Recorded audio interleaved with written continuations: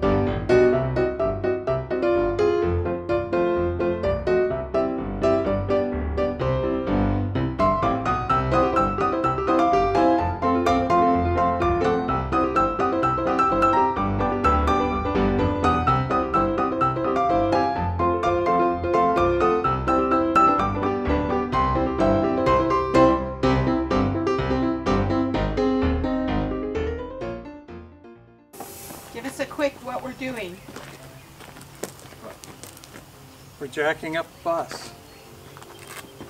And we're taking out wood so that we can hold the bus up once we get it up because we're going to have to do it in stages. I don't have a jack big enough to get it all up at one time.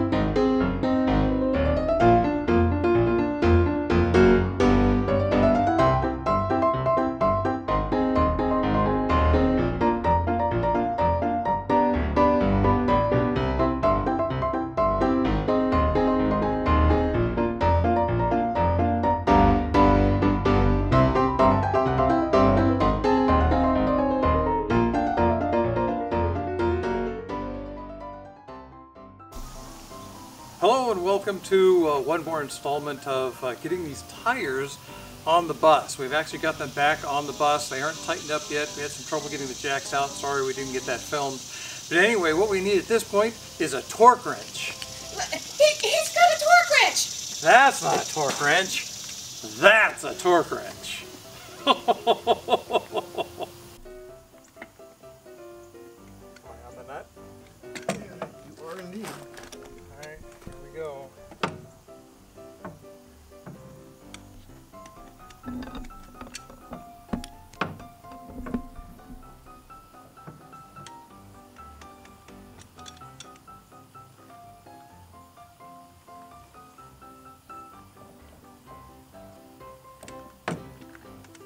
How do you know when? Straight, I'm on straight, looks like I'm leaning down. How do you know when it's too far? It will click. Nope, No? that's what I didn't know. It won't click? Nope, What does it do? you'll see. It's rather impressive. If I can get it that far, holy moly. Well, you're. I think you're wrenching it too high, aren't you? You want to put your weight on it.